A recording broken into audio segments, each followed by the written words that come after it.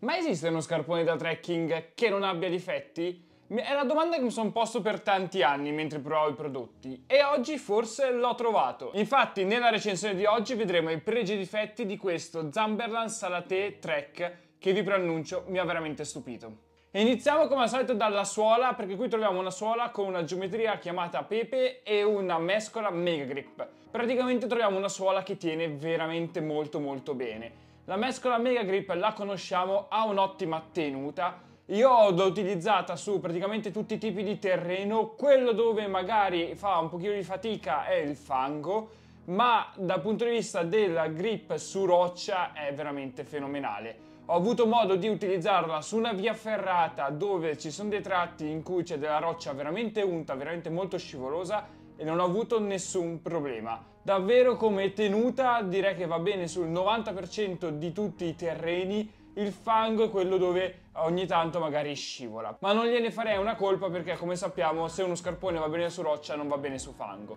Quindi da questo punto di vista hanno prediletto la roccia e devo dire che hanno fatto davvero un ottimo lavoro. Infine, ultima cosa da aggiungere, questa suola Vibram è risuolabile, quindi nel momento in cui avrete finito lo scarpone potrete dargli una seconda vita. Per quanto riguarda l'intersuola, qui troviamo un'intersuola in EVA a doppia densità. Questo cosa vuol dire? Che troviamo un'intersuola veramente molto comodo, ci si possono fare tanti tanti chilometri, tante ore di camminata e non vi stancherà il piede. Un intersuola davvero costruito bene e quello che mi piace di più è anche la sua struttura semirigida. Questa struttura semirigida gli dà modo di essere uno scarpone praticamente adatto per tantissime attività. Lo vedremo dopo, ma secondo me questa struttura veramente è il cavallo di battaglia di questi Salaté.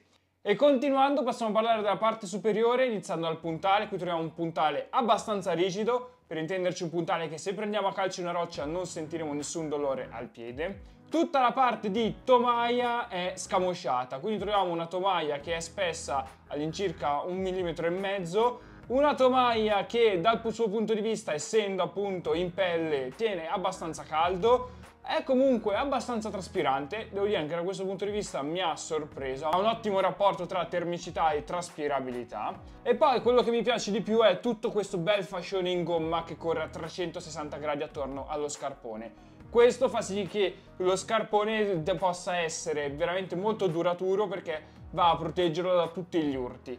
Aspetto poi non da sottovalutare che su questa tomaia troviamo anche il riflettore Recco, perfetto per farci trovare dai soccorsi in caso dovessimo smarrirci o avere dei brutti episodi in montagna. Infine per quanto riguarda la tomaia abbiamo anche una fodera in Gore-Tex che ci permette di tenere asciutto lo scarpone quando passiamo magari qualche ruscello. Per quanto riguarda la zona del tallone, abbiamo un tallone abbastanza alto, è un pochino più alto della versione mid, quindi diciamo uno scarpone abbastanza alto. Un tallone però bello strutturato nella parte bassa che sicuramente non ci farà prendere nessuna storta e si destruttura pian piano che si sale fino ad arrivare alla parte superiore della eh, conchiglia che è veramente molto molto morbido e ci asseconda molto bene sia quando camminiamo eh, magari su un pendio bello verticale che quando camminiamo anche in laterale. Qui devo dire anche dal punto di vista del tallone fatto molto bene.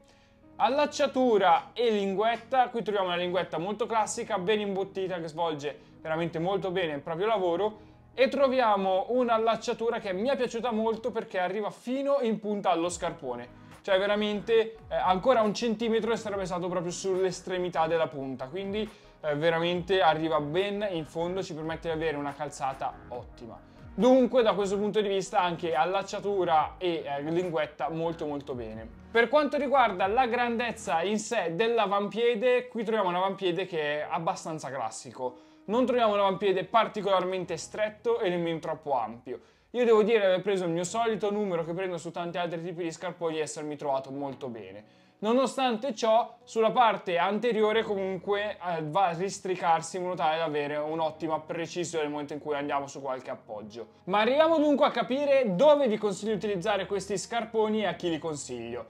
Io li consiglierei praticamente a tutti, secondo me sono l'ideale soprattutto per chi magari ha le prime armi e sta cercando uno scarpone con cui fare un po' di tutto, perché è uno scarpone che, col quale si può andare a fare dei trekking facili, dei trekking impegnativi anche di più giorni, dei trekking anche ad alta quota su sfasciumi eccetera, non è ramponabile quindi non fateci alpinismo mi raccomando, Per quanto riguarda la roccia, anche lì molto bene, ci si può fare delle vie ferrate, dei sentieri attrezzati senza nessun problema. È veramente uno scarpone a 360 gradi per quanto riguarda tutto il mondo del trekking e dove andrei a utilizzarlo, come vi ho detto, praticamente ovunque. L'unico punto in cui a fare un pochino di attenzione è quando troviamo davvero tanto tanto fango, che come vi ho detto la suola è pensata più per la roccia che per il fango. Detto ciò, arriviamo alle conclusioni per questo Zamberlan Salate Trek. Innanzitutto il prezzo viene venduto sui 275 euro sul sito ufficiale di Zamberlan, online si trova sui 230 euro. Ve lo consiglio? Assolutamente sì.